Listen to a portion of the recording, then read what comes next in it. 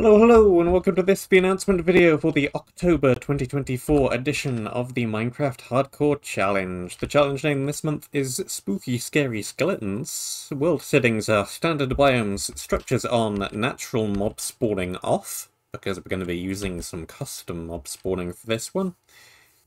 And standard rules apply. Your objective. This is a score-based challenge. Create and place a chest. The number of bones in the chest at the end of the challenge, or on your death, whichever happens first, is your score.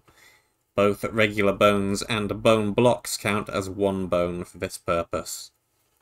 This challenge is intended to be played with a custom natural spawning data pack, available from a link down in the description, though if you're using Bedrock Edition or the data pack is otherwise unavailable, the challenge can be played without it, just to turn the natural mob spawning back on again.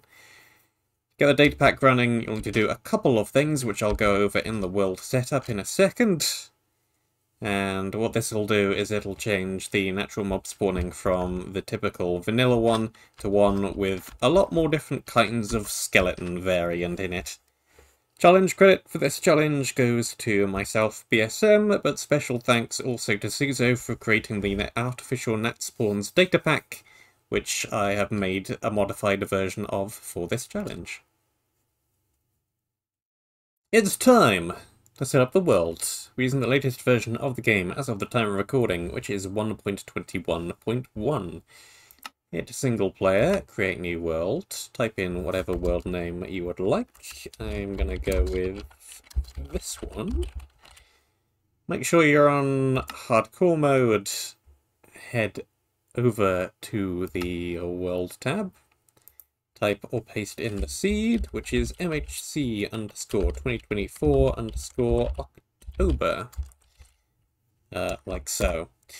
We generate structures on, bonus chest off, head over to more. First thing you're going to want to do here is head into game rules, scroll down to the mob section, and then the spawning section, and set do mob spawning to off. Hit done, enter the data packs, open the pack folder, and copy into there the suso.nats folder from within the zipped file that you can download from the description below. If you've done that properly, it should then appear on the left here, and you can click it to move it over to the right. When that's done, create new world. Right. Here we are. If you've done that correctly, you should end up somewhere that looks a little bit like this. We're not quite done yet, though. Open the world up to LAN and allow commands, because we need to enter a command. It's down in the description below as well, and it is scoreboard players set enable SusoNats1. And once you've done that, you're all set to go. Although you've definitely set everything up correctly when it gets to nighttime and you start seeing some uh, more interesting looking and nasty skeletons around. Episodes should be 20 minutes in length from sunup to sunup, and we post our episodes on Mondays and Fridays. There are 8 Mondays and Fridays in October this year, meaning that your total playtime should be approximately 2 hours and 40 minutes.